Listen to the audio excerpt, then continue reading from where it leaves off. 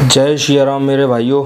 आज का मेरा जो एक छोटा सा ब्लॉग है मतलब छोटा ही रखा है मैंने, जो कि कल मैं जिस पे हेयर कट करा के आया था, उसकी बहुत समस्याएँ थी क्योंकि बहुत गरीब है वो।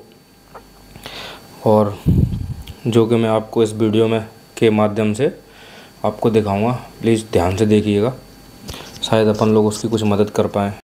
ये हमारे रवि भैया हैं, जो कि इनसे मैंने कटिंग कराई। मैं तो अपना वीडियो बनाने आया था और कटिंग करवाने आया था, जो कि मुझे अलग करना था। यूट्यूब से क्योंकि अंकित भाई से मैं एक्सपायर हूँ। तो मुझे उनके जैसी कटिंग करानी थी और देसी तरीके से करानी थी। लेकिन इनकी बातचीत से मेरे को पता चला, इनके हालात सुन के, कि भैया इतने गरीब हैं कि बेचारे की दो जवान लड़कियाँ हैं, बीस साल की है, एक उससे छोटी है, उनकी शादी करनी है। मेरी आप सबसे एक ही निवेदन है, अगर भैया आप लोग अगर मदद कर पाओ, कोई भी इनकी दुकान यहाँ पे, कंपू पे, जो पेट्रोल पंप के जस्ट सामने जो कि देसी अंग्रेज़ी शराब की दुकान भी है आमने सामने और ये ये सरकारी पेट्रोल पंप है इसके सामने। अगर इनकी कोई मदद कर पाए भाई साहब ये चाहते सम्मेलन से हो जाए या कैसे हो जाए अगर आप लोग इन, इनकी कोई मदद कर पाओ मेरा तो प्रयास रहेगा मेरा तो प्रयास रहेगा कर पाले। आप में से कोई भी अगर ये वीडियो देख रहा हो मदद कर पाओ तो इनके पास बिल्कुल आके संपर्क कर लें भैया के पास। भैया का जो नंबर लिखा हुआ है काम धंधा चलता रहा इनका वैसे दे तो बहुत गऊ आदमी यार इनको मैंने सौ रुपए दिए।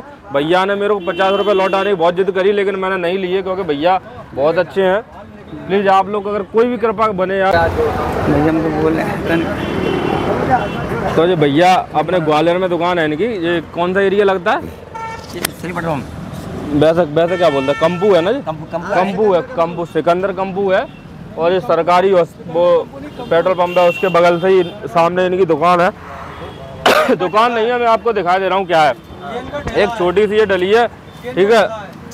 और एक अंकल जी एक ठेला लगाते एक, एक टूटी टाटी कुर्सी पड़ी है भैया की जो कि बिल्कुल ऐसे काम करते हैं पूरा। और सिर्फ़ मात्र कटिंग के बीस रुपया तीस रुपया लेते हैं। और और और बस सेविंग के ले लेते हैं बीस रुपया टोटल पचास रुपया। जो उसमें भी ये दारू वाले लोग आते हैं इनके वो खा जाते हैं कोई देता है कोई नहीं देता है। भैया और हो सकता है वीडियो देख के भाई ये कलारी वाला या कोई ये ठेके वाला इनकी दुकान हटाने की कोशिश करे लेकिन इनकी मदद कर देना भाई साहब। क्योंकि तो इनकी दो लड़कियाँ हैं जिनकी शादी नहीं हो पाई अभी तक। लोग दादागिरी बता के इनसे पैसे भी नहीं देते।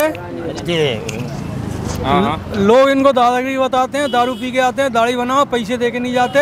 और बेचारा गरीब आदमी है। इससे ज़्यादा अपन क्या करें? बहुत सीधा आदमी बिल्कुल इतने सीधे हैं कि बोल भी नहीं पाते इतने सीधे हैं।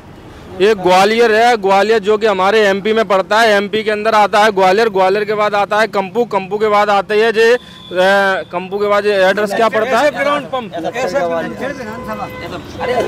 दक्षिण विधानसभा। दक्षिण विधानसभा। जो कि शायद उनके किनके में लगता है?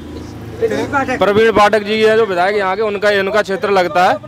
हाँ प्रवीण पाठक जी के जो क्षेत्र लगता है, जो कि कांग्रेस के विधायक हैं, और बस आप लोग भी इनके लिए कर दो कि कोई मदद करे। इनकी दो लड़कियाँ हैं, मुझे पता नहीं था इतना।